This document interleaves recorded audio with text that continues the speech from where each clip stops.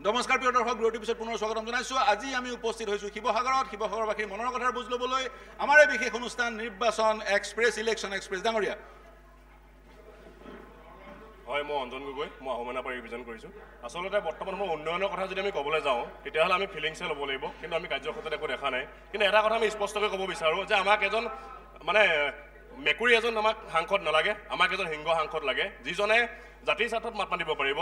আজি চাওক আমাৰ যিজন সাংসদ তপন কুমাৰ গগৈ তেওঁ ৰাইজৰ পক্ষত নাথাকি তেওঁ নিজৰ দিল্লীত বহতীয়া হৈ নিজৰ গাদী ৰক্ষাৰ স্বাৰ্থত তেওঁ জাতিৰ সংখ্যা আইনখন প্ৰণয়ন হৈ গ'ল কিন্তু মাত মাতিব নোৱাৰিলে। আজি তেওঁ আই এল পিৰ কথা আমাৰ ৰাজ্যখনত তেওঁ কথা মানে মুক্তভাৱে মাত মাতিব নোৱাৰিলে গতিকে আমাক এনে এজন সাংসদ লাগে যিজনে আমাৰ প্ৰাপ্যৰ অধিকাৰ আমাৰ জাতিৰ ৰক্ষাৰ স্বাৰ্থত তথা অনাগত সময়ত জাতিৰ ৰক্ষাৰ বাবে যে তেওঁলোকে ভাল পদক্ষেপ ল'ব পাৰে তেওঁ যাতে আই এল পি এক ব্যৱস্থা ল'ব পাৰে বা তেনেকুৱা কিছুমান ৰাইজৰ স্বাৰ্থত কাম কৰা এজন এম পি লাগে আমাক আমাক নিব মানে নিব এক- মানে নিশ্চুপ। আৰু এজন দিল্লীৰ বহুতে সাংসদ আমাক প্ৰয়োজন নাই। হয় ডাঙৰীয়া আপোনাৰ মন্তব্য? মোৰ কথাটো হ'ল যে যোনেই যিমানেই কথা নকওঁ এইবাৰ কিন্তু অসমৰ আটাইতকৈ আকৰ্ষণীয় এই নিৰ্বাচনৰ সমষ্টিটো হৈছে যোৰহাট সমষ্টি। হয়। আৰু আমি জাতীয় সংগঠনৰ কৰ্মী হিচাপে আমি সাধাৰণতে সৰ্বসাধাৰণ ৰাইজৰ পক্ষত থাকোঁ লগত থাকোঁ। তো আমি ৰাইজৰ যিখিনি অভাৱ অভিযোগ এই কথাখিনি আমি কিছু অনুধাৱন কৰিছোঁ। সেইকাৰণে কৈছোঁ যে যোৰহাট সমষ্টিত গোটেই যুঁজখন টাফ হ'ব। আৰু মই বিজেপিৰ যিসকল কৰ্মকৰ্তা আছে তেখেতসকলৰ মুখত প্ৰথমৰে পৰা মই এটা শব্দ শুনি আছোঁ উন্নয়ন উন্নয়ন উন্নয়নৰ কথা কৈ আছে। কিন্তু আমাৰ কথা হ'ল যে জাতিক বিক্ৰী কৰি কৰা উন্নয়ন কিন্তু আমি নিবিচাৰোঁ। জাতিক বিক্ৰী কৰি কৰা উন্নয়ন আমাক নালাগে। দেউতাই গঢ়ি থৈ যোৱা আমাৰ এমহলীয়া ঘৰটোৰ ওপৰৰ চাদখন ওপৰত চাদ আৰু এটা মহল বনাবৰ কাৰণে তলৰ চাদখন আমি কি বন্ধকত দিম নেকি? আজি এটা কথা কোনোবাই ক'লে নহ'ব যে তপন গগৈ ডাঙৰীয়া বৰ্তমান এজন ৰাজনীতিবিদ আগতে কি আছিলে সেই কথাটো ক'লে নহ'ব। কাৰণ তেওঁ সদৌ অসম ছাত্ৰ সন্থাৰ পৰা নেতৃত্ব দি ৰাজনীতিলৈ যোৱাৰ পাছত আমি বাৰে বাৰে তেখেতক এটা কথা কৈ আছিলোঁ যে তেখেতে নেতৃত্ব দি যোৱা সংগঠনটোৰ মূল যিটো দাবী অসম চুক্তি ৰূপায়ণৰ ক্ষেত্ৰত কোনদিনাখন আজি প্ৰশ্ন আপোনালোকে উত্তৰ দিব পাৰিব কোনদিনাখন তপন কুমাৰ গগৈ ডাঙৰীয়াই সংসদত গৈ এবাৰ সজোৰে উত্থাপন কৰিলে যে অসম চুক্তি ৰূপায়ণ হ'ব লাগে। আৰু দ্বিতীয় কথাটো হ'ল নাগৰিকত্ব সংশোধনী আইন। নাগৰিকত্ব সংশোধনী আইনৰ বিৰুদ্ধে যেতিয়া জোৰদাৰ আন্দোলন হৈছিলে দুহেজাৰ ঊনৈছ চনত হৈছিলে তেতিয়াও কিন্তু তপন কুমাৰ গগৈ ডাঙৰীয়া একেবাৰে নীৰৱ হৈ থাকিলে। আৰু সৌদিনা কা বলবৎ কৰা হ'ল আমি প্ৰতিটো দল সংগঠন শিৱসাগৰবাসী ৰাইজ ৰাজপথলৈ ওলাই আহিলোঁ। তপন গগৈ ডাঙৰীয়াক আমি বাৰে বাৰে প্ৰশ্ন কৰাৰ পাছতো তেওঁৰ স্থিতি স্পষ্ট কৰিবলৈ কোৱাৰ পাছতো তেওঁ কিন্তু কৰিব নোৱাৰিলে। গতিকে আমি ৰাস্তা পদূলি দুটামান বনাই দিলেই আমাৰ দুটামান সামাজিক অনুষ্ঠানত ডনেশ্যন দি দিলেই এজন সাংসদৰ দায়িত্ব আৰু কৰ্তব্য শেষ হৈ যায় বুলি আমি নাভাবোঁ। গতিকে নিশ্চিতভাৱে শিৱসাগৰবাসী ৰাইজে কি বিচাৰে আৰু শিৱসাগৰবাসীৰ আৱেগ অনুভূতি কি? এই কথা শিৱসাগৰীয়া ৰাইজে বিগত বিধানসভা নিৰ্বাচনত দেখাই থৈছে। হয় ডাঙৰীয়া এইফালে পিছফালে যাম। মহিলাসকলৰ শেষত মহিলাসকলৰ প্ৰথমতে নিউজ এইটিনক ধন্যবাদ জনাইছোঁ। সামগ্ৰিক উন্নয়নে কাৰো পকেটৰ পইচা উন্নয়ন কৰা নাই। আপোনাৰ মোৰ টেক্সৰ পইচা উন্নয়ন কৰিছে। সংসদত সংসদত মাত মতা মানুহ লাগে। মাননীয় প্ৰধানমন্ত্ৰী মহোদয়ক আপোনাৰ চেনেলৰ যোগেদি মই সুধিব বিচাৰিছোঁ। পোন্ধৰ দিনৰ পিছতে বাংলাদেশী টোপোলা টপলি বান্ধিব লাগিব। নাই গ'ল নাই সেইটো উত্তৰ লাগিব লাগিব প্ৰধানমন্ত্ৰী। দুই নম্বৰ কথাটো পোন্ধৰ লাখ দিম বুলি কৈছিলে মই কিন্তু বেগ লৈ ঘুমুতে বুজিছোঁ আজিলৈকে পোৱা নাই। বৰ ডাঙৰ কথা দেই। আৰু এটা কথা শুনক কা বিৰোধী আন্দোলন কৰিবলৈ গ'লে আমাৰ মাননীয় মুখ্যমন্ত্ৰীয়ে আকৌ পুলিচৰ যোগেদি আন্দোলন নকৰোঁ বুলি চহী কৰাই দিয়ে। এইটো কেনেকুৱা গণতন্ত্ৰ? কেনেকুৱা গণতান্ত্ৰিক দেশত আমি বাস কৰিছোঁ? ভাৰতবৰ্ষ স্বাধীন হ'ল নাই? মোৰ কিন্তু সচেতন নাগৰিক হিচাপে সন্দেহ আছে। মই মহিলাসকলৰ ওচৰলৈ যাম। বাইদেউ মহিলা মঞ্চৰ আপুনি প্ৰতিনিধি আপোনাৰ মন্তব্য। হয় মই অসমীয়া মহিলা মঞ্চৰ জিলা সম্পাদিকা। মই সকলোকে অনুৰোধ কৰিম যে চাওক মই আমি ইয়াত ইজনে সিজনৰ লগত তৰ্ক কৰিলে একো লাভ নহ'ব। যিহেতু যোৰহাট লোকসভা সমষ্টিৰ প্ৰতিজন ভোটাৰ বিবেকবান তেওঁলোকে নিজৰ মতে ভোট দিব। আৰু মই এটা কথা ক'ব পাৰোঁ আজি ইয়াত যি হয়তো সপক্ষে কৈছে বা বিপক্ষে কৈছে ভোট কিন্তু তেওঁলোকৰ নিজৰ মতেহে দিব। আৰু মই এতিয়া যিহেতু এটা সামগ্ৰিকভাৱে যোৰহাট লোকসভা সমষ্টিৰ কথা কৈ থকা হৈছে মই যিহেতু সৰুৰে পৰা যোৰহাট জিলাত মই পঢ়া শুনা কৰিছোঁ গতিকে মই শিৱসাগৰ জিলালৈ আহিম বাৰু কিন্তু যোৰহাটৰ কথা মই ক'ব খুজিছোঁ। প্ৰথমতে উন্নয়নৰ কথাই কওঁ বাৰু তেওঁলোকে তেওঁলোকে যোৰহাট মেডিকেল কলেজখনৰ উন্নতি কৰিলে এখন অভাৰব্ৰিজ বনালে লাচিত বৰফুকনৰ মৈদামৰ কাম কৰিলে। আৰু যিহেতু যোৰহাট মেডিকেল কলেজখনৰ ওচৰতে বহুত যান জঁটৰ সৃষ্টি হয় এতিয়া তাতো এখন অভাৰব্ৰিজৰ কথা চিন্তা কৰিছে। এতিয়া কথাটো হ'ল কি আজিৰ পৰা প্ৰায় বাৰ তেৰ বছৰ আগতেই যোৰহাটৰ পৰা মৰিয়নি যিটো বাছ ষ্টেণ্ড আছিলে সেই বাছ ষ্টেণ্ডটো তেওঁলোকে এটা মাল্টিপল পাৰ্কিং ছিষ্টেম কৰিম বুলি কৈছিলে। আজি বাৰ তেৰ বছৰ পিছতো কিন্তু যোৰহাট জিলাত এটা ভাল পাৰ্কিং ব্যৱস্থা নাই। দ্বিতীয়তে তেৰ চৈধ্যখন গাঁও সামৰি তিয়ক তিয়কত এখন হস্পিটেল আছে। সেই হস্পিটেলখনত কিন্তু আজিলৈকে ভাল উন্নত সা সুবিধা নহ'লে। দ্বিতীয়তে তিয়কত এটা মিনি ষ্টেডিয়াম গঠন কৰাৰ কথা আছিলে যিটো আমাৰ ললিত ৰাজখোৱাৰ দিনতে হৈছিলে যিহেতু এতিয়া তেওঁলোক এতিয়া একেলগে এলায়েন্সত আছে। গতিকে মই এই কথাটো ক'ব খুজিছোঁ যে আপোনালোকৰ ললিত ৰাজখোৱাৰ দিনতে হৈ যোৱা সেই গেজিং মাটিত যিটো আপোনালোকে মিনি ষ্টেডিয়ামৰ কথা কৈছিলে তাত কিন্তু যিসকল মানুহে বাগান খুলি বেদখল কৰিছিলে আজিলৈকে সেই বেদখলকাৰী কিন্তু মুক্ত নহ'ল। গতিকে আৰু এতিয়া আহোঁ মই শিৱসাগৰ জিলালৈ। শিৱসাগৰ জিলালৈ যদি আহোঁ তেতিয়া আমাৰ যিহেতু এতিয়া এতিয়াহে ৰেল ষ্টেচনটোৰ কথা আহিছে বাকী আমাৰ কিন্তু ৰাস্তা পদূলি উন্নত উন্নয়ন হোৱা নাই। আৰু মই বিচাৰিছোঁ যিহেতু দুইজন প্ৰাৰ্থী এতিয়া শক্তিশালী প্ৰাৰ্থী আমি বিচাৰিছোঁ যে দুইজনৰ ভিতৰত যিয়ে সাংসদলৈ। নিৰ্বাচিত হৈ যায় তেওঁ উন্নয়ন মই মই আপোনাৰ ওচৰলৈ আহিম। হয়। সদৌ অসম ছাত্ৰ সন্থা হয়, কওক। চাওক আহ, এতিয়া যিহেতু ৰাজনৈতিক বতৰ আমি কথা বতৰাবোৰ ক'বই লাগিব সেই সুবিধাতে। জাজিৰ পৰা ডিমৌ যি যে সংযোগী পথ ইতিমধ্যে কৈছোঁ আমি চৌৰাল্লিছ কিলোমিটাৰ পথ ইতিমধ্যে আঠৰ পৰা দহ বছৰ সময় লাগিছে। আজিলৈকে পথছোৱাৰ কাম সম্পূৰ্ণৰূপে মেৰামতি নহ'ল। কোম্পানী চাৰি পাঁচটা সলনি হৈছে। আৰু সমান্তৰালকৈ নিৰ্বাচনৰ এই ব্যস্ততাপূৰ্ণ সময়খিনি মাজমজিয়াত আপোনাৰ ঐতিহাসিক যি দৌল দেৱালয়সমূহ আছে আজি কাৰেংঘৰ ৰংঘৰ তলালঘৰ এই স্থানসমূহৰ প্ৰৱেশদ্বাৰত থকা যিবোৰ কাউণ্টাৰ কাউণ্টাৰত ইতিমধ্যে আহ, হিন্দীভাষী লোকে ইতিমধ্যে তাত আগ্ৰাসন চলিছে। আজি আপুনি এটা কথা স্পষ্টভাৱে এটা কথা ক'ব লাগিব যে তাত আপুনি আগত আমি অসমীয়াত কথা বতৰা পাতি গৈ সোমোৱাৰ আজি পৰিৱেশ তাত আজি নাই। এই কথা বতৰাবোৰ কিন্তু শাসননিষ্ঠ দলেই হওক বা বিৰোধী হওক কিন্তু তাত তেওঁলোকে কোৱাৰ প্ৰয়োজনীয়তা আছে। আৰু সমান্তৰালকৈ এটা কথা ক'ব লাগিব যে যিহেতু আমি ৰেচন কাৰ্ডখনেই হওক বা আমি অন্যান্য আমাৰ শৌচাগাৰ নিৰ্মাণৰ ক্ষেত্ৰত দিয়া প্ৰাপ্য যি পইচা দিছে বা তেনেকুৱা ধৰণৰ কথা নকয় এইখিনি চৰকাৰ দিবলগীয়া চৰকাৰটো দায়িত্ব আৰু গ্ৰহণ কৰিব। কিন্তু কথাটো হৈছে কি আজি এইখিনি গঠন কৰিলে আমি ব্যক্তিগত লাভালাভৰ কথাটো চোৱাৰ সমান্তৰালকৈ এটা কথা আমি চাব লাগিব যে আমি অদূৰ ভৱিষ্যতলৈ যদি অসমখন ভৱিষ্যতটো সুনিশ্চিত কৰা যায় তেতিয়াহ'লে জনজাতিকৰণৰ বিষয়টো আহিব। গতিকে জনজাতিকৰণৰ বিষয়টোৰ ক্ষেত্ৰত যদি আমি চাওঁ যে গৌৰৱ গগৈ ডাঙৰীয়াৰ ক্ষেত্ৰতো যদি চাওঁ বা তপন গগৈ ডাঙৰীয়াৰ ক্ষেত্ৰতো যদি চাওঁ কোনো বি- মানে সাংসদে এতিয়ালৈকে যদি বিষয়টো উত্থাপন সজোৰে উত্থাপন কৰা নাই জনজাতিকৰণৰ বিষয়টো পিছ পৰি আছে। ডাঙৰীয়া হয় আপোনাৰ পৰিচয়টো বিচাৰিম। মই এগৰাকী সাংবাদিক গতিকে মই ৰাজনৈতিক দলৰ সদস্যসকলে কোৱাৰ দৰে কথা নকওঁ। প্ৰথম কথাটো হ'ল আপুনিও এগৰাকী সাংবাদিক।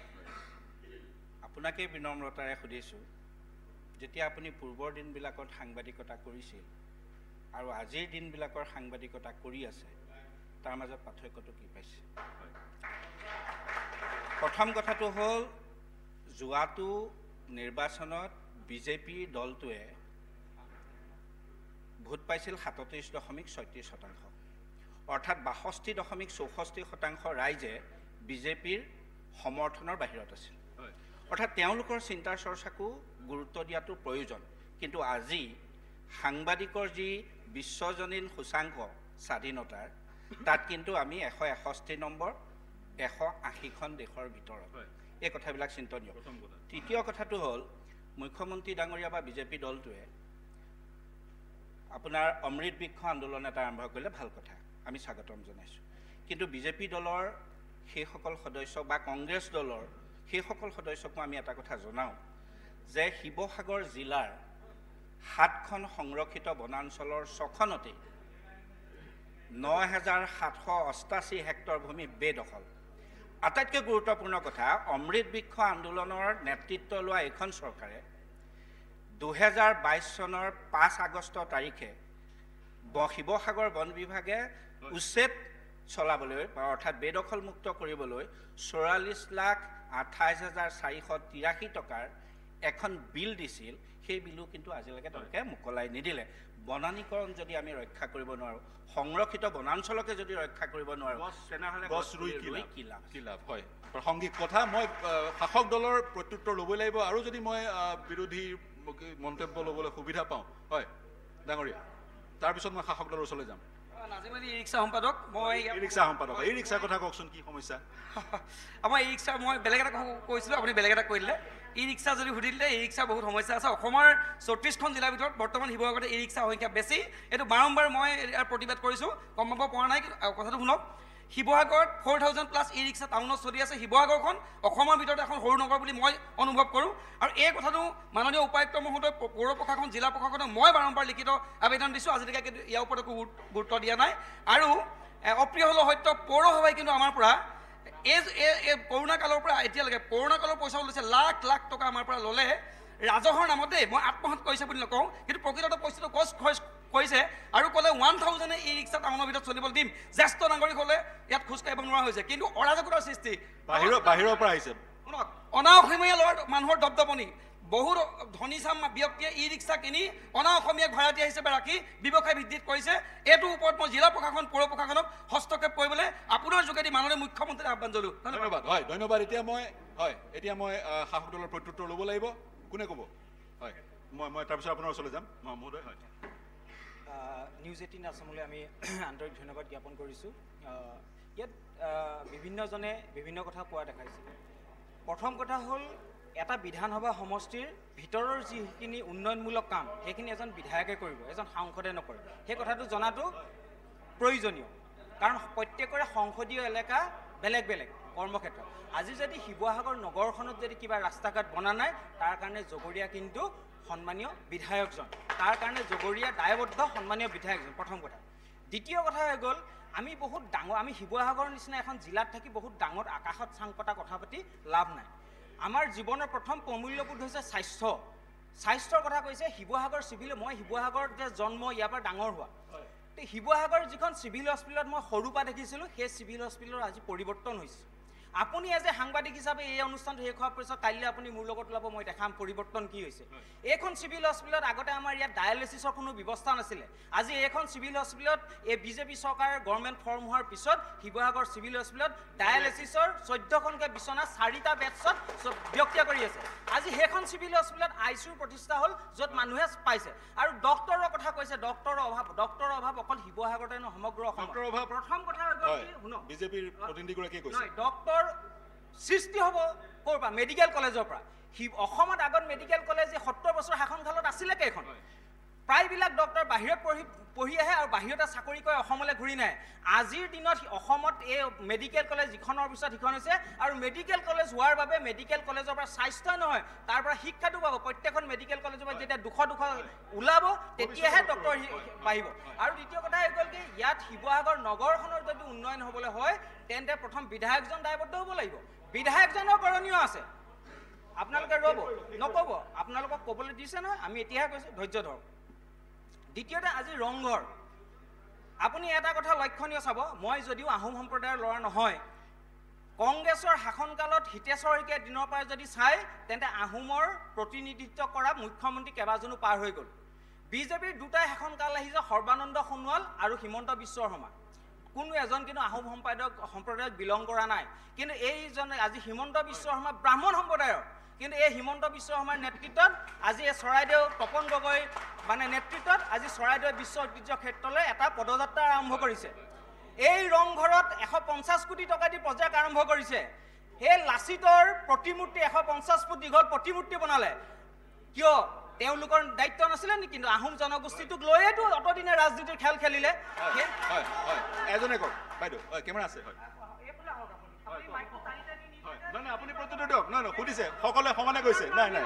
সকলোৱে সমানে কৈছে। সকলোৱে সমানে কৈছে হয় হয় প্ৰত্যুত্তৰ প্ৰত্যুত্তৰ প্ৰত্যুত্তৰ মই ল'ব ল'বই লাগিব হয়। Guwahati medical college Dibrugarh medical college বন্ধ কৰি দিয়ক বাহিৰৰ ডক্তৰ আনি ইয়াত এভেইলেবল কৰি দিয়ক। এক নম্বৰ কথা তেওঁৰ উত্তৰ সেইটো। দুই নম্বৰ কথা হ'ল আপোনাৰ আজি আজিৰ তাৰিখত শিৱসাগৰৰ উন্নয়নৰ কথা ক'বলৈ আহিছে। ইয়াৰ আগৰ যিমানবোৰ বিধায়ক আছিলে আমি দেখিছিলোঁ। আমি দেখিছিলোঁ আমি ৰাজনীতি কৰা আজি পঁয়ত্ৰিছ ছয়ত্ৰিছ বছৰ হ'ল। আজি অখিল গগৈ ডাঙৰীয়া বিৰোধী এজনেই বিধায়ক। কিন্তু চৰকাৰ বিজেপি গোটেই বস্তুটোৱেই বিজেপিৰ নেতৃত্বত আছে। কিন্তু আমাৰ অখিল গগৈ ডাঙৰীয়াই শিৱসাগৰৰ কাৰণে আজিৰ তাৰিখত নগৰৰ যি আজি চক যমুনা চক জিলিকি গ'ল এটা ছাইড ডেৰ কোটি টকাৰ যমুনা আজি কিনাৰত বল্ডাৰ বহাই জিলিকাই এইখন যমুনাৰ টেণ্ডাৰ হ'ল দহ কোটি টকা। চৰকাৰ তেওঁলোকৰ আমি কোৱা নাই চৰকাৰ তেওঁলোকৰ পইচা তেওঁলোকে দিব। কিন্তু এইখন যমুনা ঠিক কৰিবলৈ দহ কোটি টকা কাঢ়ি আনিলে অখিল গগৈ ডাঙৰীয়াই। অকল ৰংঘৰ তলাতল ঘৰ লৈ পেলাই আমি উন্নয়ন বুলি নকওঁ। আজি আপুনি ষোল্লটা মথাউৰি শিৱসাগৰৰ গাঁৱৰ অঞ্চলত চকগে। ষোল্লটা মথাউৰি কি ধুনীয়া আজি পকীকৰণ হৈ আছে। অখিল গগৈ ডাঙৰীয়া শুনিব লাগিব আপুনি শুনিব লাগিব। অখিল গগৈ ডাঙৰীয়াৰ নেতৃত্বত ৰাস্তা হৈ আছে গাঁৱৰ ৰাস্তা হৈ আছে অখিল গগৈ ডাঙৰীয়া। ফলক চাওক কুকুৰে মোটা ফলক নাই লগা। অখিল গগৈ যিবোৰ ফলক লগাইছে কুকুৰে মুতিবলৈ নাই লগা। মুখৰ আগত চাই আছে কাম বেয়া হ'লে কণ্ট্ৰেক্টৰক মাটি খান্দি কাম ঠিক কৰিছে। অখিল গগৈ ডাঙৰীয়াই কাম নাই কৰাটো ৰাইজে দেখিব। নহ'লে আমাৰ শিৱসাগৰবাসী এনেকুৱা হৃদয়বান শিৱসাগৰবাসী অখিল গগৈ ডাঙৰীয়াক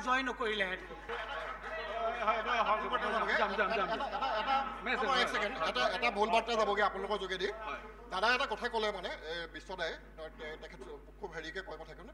এই যে চৰাইদেউ মৈদামৰ কথাটো ক'লে যে হিমন্ত বিশ্ব শৰ্মা বামুণ হোৱাৰ পাছতো তেওঁ কাম কৰিছে বুলি কৈছে এইটো তেওঁ সেই পদবীটোক অসন্মান জনোৱা নহ'লনে গোটেই কথা বতৰালৈ কমিউনেল কথা এটা কৈ মানে আহোমে কৰিব লাগিব নেকি? আহোমে ক'ব লাগিব নেকি? গতিকে এই কথাটো জাতিগত কথা এটা নহয় আপুনি এইটো উঠাই লোৱা উচিত। নহয় নহয় এইটো তেওঁ নহয় এইটো উচিত নহয়। নহয় নহয় এইটো উচিত নহয়। হিমন্ত বিশ্ব শৰ্মাক বামুণ বুলি কৈ জাতিগত কথা কৈছে। এইটো নহয় নহয় এইটো এইটো এইটো জাতিগত ধাৰণাটো বৰ বেয়া। নহয় নহয় নহয় সেইটো জাতিগত ধাৰণাটো ভুল নহয়। আপুনি এইটো হিমন্ত বিশ্ব শৰ্মা বামুণ বুলি কয় তেওঁক বামুণৰ শিক্ষাত নহয় এইটো এইটো ভুল হৈছে। এইটো আমাৰ চাওক তুষা ৰ'ব তুষামুদ শুনক আমি তুষামুদ কৰা নাই। তুষামুদৰ ৰাজনীতি কৰোঁতে কৰোঁতে এইখন অসম ৰসাতলে গ'ল। আমি যিটো সত্য তাক স্বীকাৰ কৰিব লাগিব। প্ৰথম কথা দ্বিতীয় ৰ'ব ৰ'ব ৰ'ব দ্বিতীয় কথা হ'ল মই আপুনি সাংবাদিক মই আপোনাক এটা কথা সুধিছোঁ সন্মানীয় ৰাইজৰ দলৰ বাইদেউগৰাকীয়ে ক'লে সন্মানীয় ৰাইজৰ দলৰ বাইদেউগৰাকীয়ে ক'লে যে যে গৌৰৱ গগৈক ভোট দিব লাগে। মোক এতিয়া ৰাইজৰ দলৰ প্ৰতিনিধি হিচাপে তেওঁ আমাক বুজাই দিয়ক যে সেইজন অখিল গগৈয়ে ৰাইজক আহ্বান কৰিছিলে যে গৌৰৱ গগৈ এজন জাবৰ তেওঁ কলিয়াবৰত বহাই দিলে কলিয়াবৰ সমষ্টি ভোট নিদিব। এতিয়া সেইজন গৌৰৱ গগৈ ইয়াত ভোট বিচাৰি আহিছে নে এজন বেলেগ গৌৰৱ গগৈ ইয়াত প্ৰতিষ্ঠা জানে গৌৰৱ গগৈৰ নেতৃত্বত কিমান কাৰ্যকাল গৌৰৱ গগৈ উন্নত হয় হা তপন গগৈয়ে যি তপন গগৈ যিটো কাৰ্যকালত যি তেওঁলোকে কৰিলে সেইটো বিফল। সেইটো বি- এ, ক'লে মানে গৌৰৱ গগৈ গৌৰৱ গৌৰৱ গগৈ অসমৰ কণ্ঠ হয় গৌৰৱ গগৈ অসমৰ কণ্ঠ হয়। তপন গগৈ এটা নিমাত এই চবেই জানে চবেই জানে চবেই জানে তপন গগৈ পজিশ্যনত আছে বিৰোধী নেতা কিয় গৌৰৱ গৌৰৱ গৌৰৱ গগৈয়ে যদি কলিয়াবৰৰ পৰা পলালে তেতিয়াহ'লে সৰ্বানন্দ সোণোৱালে ক'ৰ পৰা মাজুলীত বিধানসভা খেলিছিলে। এতিয়া যোৰহাটত কিয় খেলিছে? ডিব্ৰুগড়ত কিয় খেলিছে? তেখেতেও ডিব্ৰুগড়লৈ পলাইছে?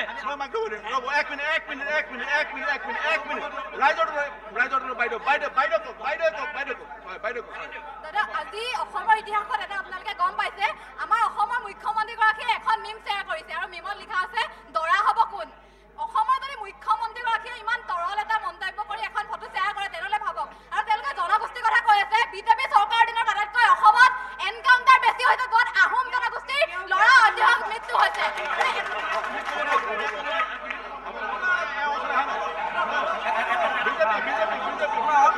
এটা কথা ধ্ৰুৱ সত্য এটা কথা ধ্ৰুৱ সত্য বিজেপি এটা কথা ধ্ৰুৱ সত্য যে এইবাৰ এটা কথা ধ্ৰুৱ সত্য যে এইবাৰ পুনৰবাৰ চাৰিশ প্লাছ চিটাৰে ভাৰতীয় জনতা পাৰ্টীয়ে কেন্দ্ৰত চৰকাৰ বনাই- চ- চ- চৰকাৰ বনাবলৈ গৈ আছে এতিয়া আমি গাঁৱৰ পৰা আহিছোঁ গাঁৱত সংগঠন কৰোঁ আমি যুৱ মৰ্চাত আমি গাঁৱলৈ যাওঁ। যেতিয়া গাঁৱলৈ যাওঁ গাঁৱত তেতিয়া আমাক ল'ৰাবিলাকে কয় যে দাদা ইয়াত ইয়াত ৰাস্তাত আমি যেতিয়া বোকাৰে গৈছিলোঁ তেতিয়া বৰ কষ্ট পাইছিলোঁ। কিন্তু এতিয়া আমাৰ ৰাস্তা পকা হ'ল। যেতিয়া মোৰ ককা দেউতাই যে নামঘৰৰ কাৰণে যেতিয়া নামঘৰৰ কাৰণে যেতিয়া নামঘৰৰ কাৰণে পইচাৰ কাৰণে যেতিয়া মানুহৰ ঘৰে ঘৰে পইচা বুটলিবলৈ গৈছিল। অখিল গগৈ ডাঙৰীয়াই যে ৰাজ্যসভাত বিজেপিক ভোট দিছিলে হা তেওঁলোকেতো কৈছিলে যে নাই দিয়া বুলি ৰাজ্যসভাত। আজিলৈকে কিয় স্পষ্টীকৰণ নিদিলে? অখিল গগৈ যদি কৈয়ে থাকে যে বিজেপিক ভোট দিব নালাগে কিন্তু অখিল সেই অখিল গগৈ ৰাজ্যসভাত বিজেপিয়ে অখিল গগৈ বিজেপিক বিজেপিয়ে যেতিয়া বিজেপিয়ে বিজেপিয়ে যেতিয়া নদী বান্ধৰ বিৰুদ্ধে আন্দোলন কৰিবলৈ গৈছিলে আৰু এই বিজেপিয়ে যে নদী বান্ধ বনাইছে এনেকুৱা দুইতলীয়া দুইতলীয়া বিজেপি চৰকাৰ নালাগে। অখিল গগৈ ডাঙৰীয়াই ৰাজ্যসভাত বিজেপিক যে ভোট দিছিলে সেই কথাটো আজিলৈকে কিয় স্পষ্টীকৰণ নকৰিলে?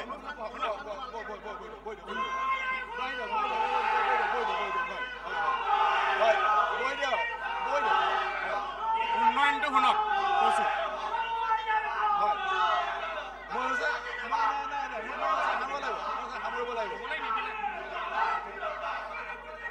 মই আলোচনা সামৰিব লাগিব হয়। কি শিৱসাগৰবাসীৰ মনৰ কথাৰ বুজ ল'বলৈ মই আহিলো। শিৱসাগৰ বিভিন্ন দল সমন্বয় সংক্ষেপত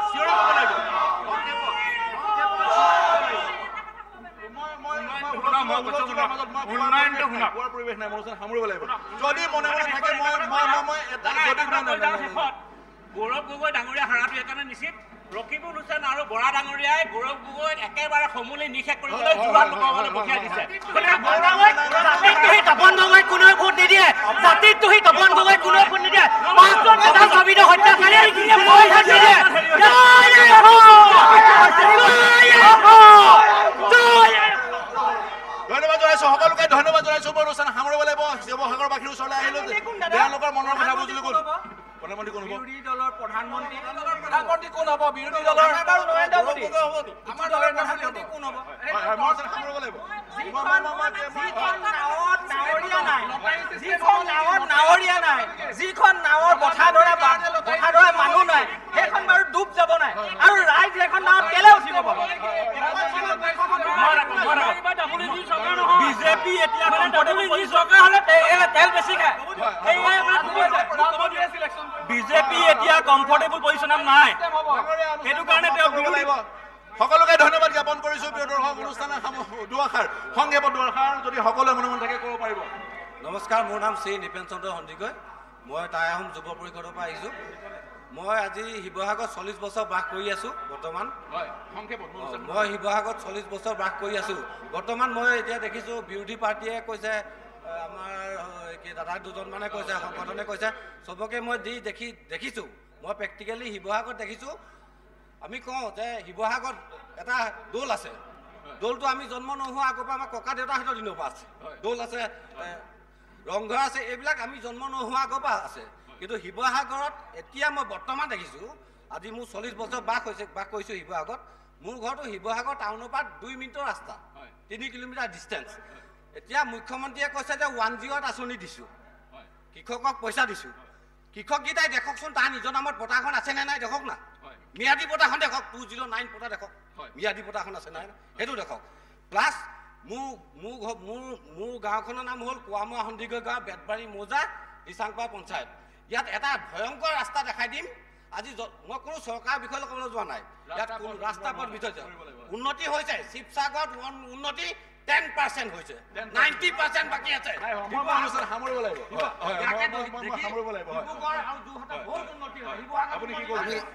আমি আমি ছাত্ৰ সন্থাৰ ফালৰ পৰা বিজেপি চৰকাৰক এটাই কথা ক'ব বিচাৰি বিচাৰিছোঁ। যদি ছয় জনগোষ্ঠীক জনজাতিকৰণ এইবাৰ লোকসভা নিৰ্বাচনৰ আগে আগে যদি নিদিয়ে তেতিয়া আমি কোচাবংশী ৰাইজে ভোট বৰ্জন কৰিম। হয়। ন' এছ টি ন' ৰেছ হয় মই অনুষ্ঠান সামৰিব লাগিব শিৱসাগৰবাসীৰ ৰাইজ মোৰ সৈতে সংযুক্ত হোৱাৰ কাৰণে অশেষ ধন্যবাদ শিৱসাগৰবাসীৰ। মনৰ কথাৰ বুজ ল'লোঁ। সমাগত দুহেজাৰ চৌবিছৰ নিৰ্বাচনত শিৱসাগৰবাসীয়ে এখন শক্তিশালী চৰকাৰ গঠন কৰাৰ দিশত পদক্ষেপ ল'ব এখন শক্তিশালী বিৰোধী গঠন কৰাৰ দিশত পদক্ষেপ ল'ব। শিৱসাগৰবাসী মোৰ সৈতে সংযুক্ত হোৱাৰ কাৰণে অশেষ ধন্যবাদ। আমাৰ এই নিৰ্বাচনী যাত্ৰা ইলেক্স যাত্ৰা ইলেকশ্যন এক্সপ্ৰেছৰ আমাৰ অৱস্থিতি আছিল শিৱসাগৰ। তাৰপিছত আমি যাম অন্য এক স্থানলৈ য'ত আমি ৰাইজৰ মনৰ কথা বুজ ল'ম। শিৱসাগৰবাসী মোৰ সৈতে সংযুক্ত হোৱাৰ কাৰণে অশেষ ধন্যবাদ। প্ৰিয় দৰ্শক শুভৰাত্ৰি। ভাৰতৰ গৌৰৱ গোটেই বিশ্বতেই ইয়াৰ সন্মান ষ্ট্ৰং মানে মাইথান ষ্টীল।